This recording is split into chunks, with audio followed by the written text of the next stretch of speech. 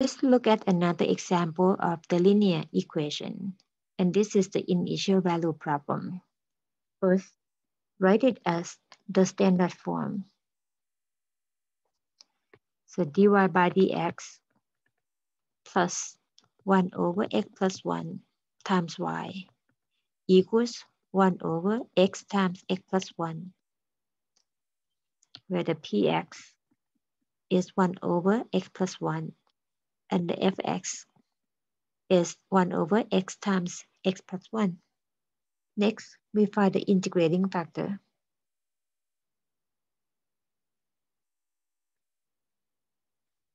Integrating factor mu is e to the integral px dx or e to the integral 1 over x plus 1 dx.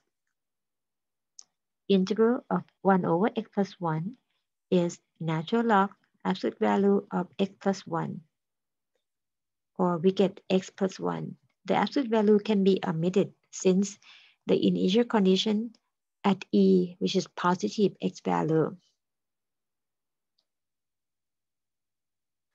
Next, substitute in the formula to get the general solution.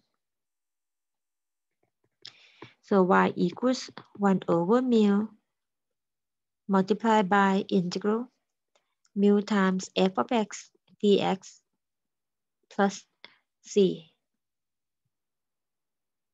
The 1 over mu or 1 over x plus 1 multiplied by integral mu which is the quantity x plus 1. The f of x is 1 over x times x plus 1 dx plus c x plus 1, x plus 1 reduce. So the integrand becomes just 1 over x with respect to x plus c. The integral 1 over x gives us natural log absolute value of x.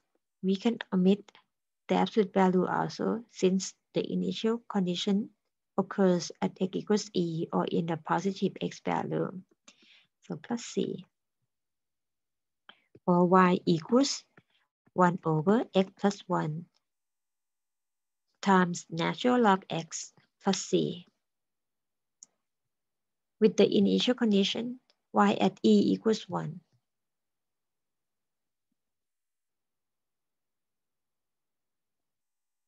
We're going to find c.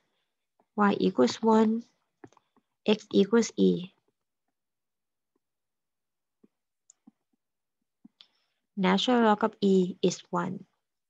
So we get, we multiply both sides by e plus 1.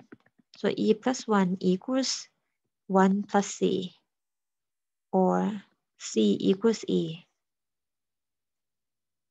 That means the particular solution.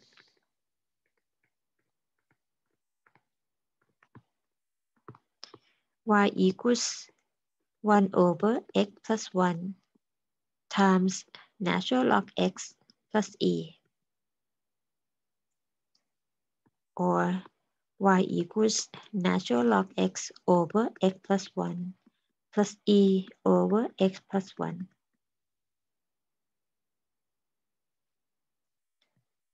Next, we consider the transient term.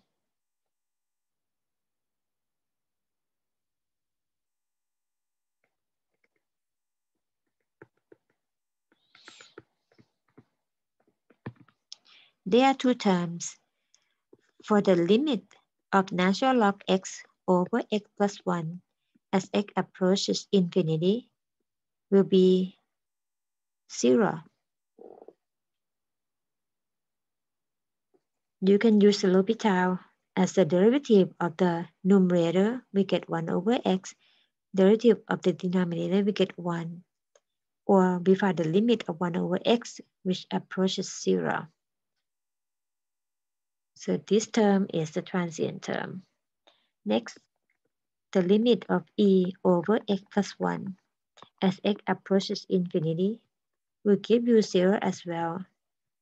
So the transient term will be both terms, natural log x over x plus 1 and the term e over x plus 1. Therefore, eventually or in the long term, the solution y will approach zero.